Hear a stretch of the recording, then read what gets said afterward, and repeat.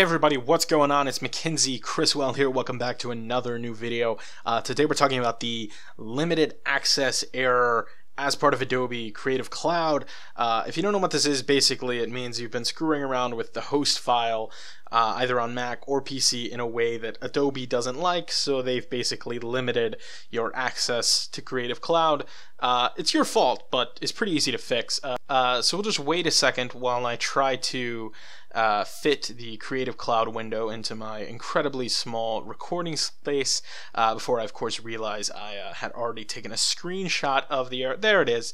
Uh, it's just this little orange window that will say limited access.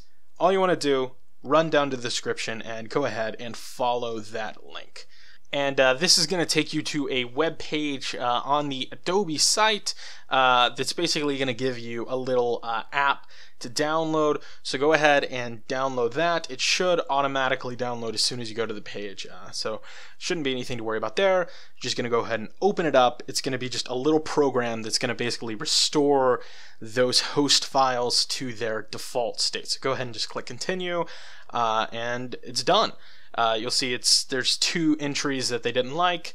Uh, what I'm going to go ahead and do is quit uh, the Creative Cloud app.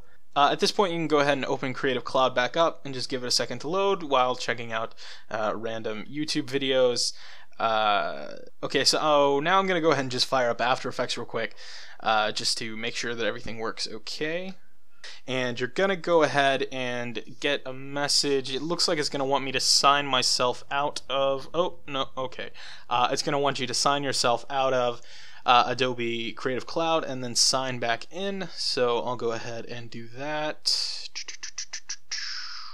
Uh, okay, and then uh, we'll just go ahead and sign back in completely.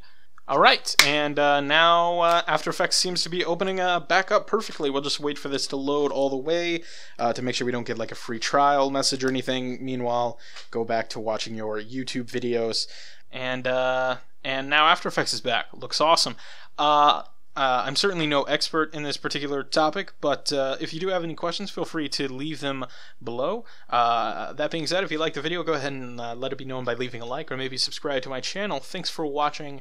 Uh, I'll see you next time.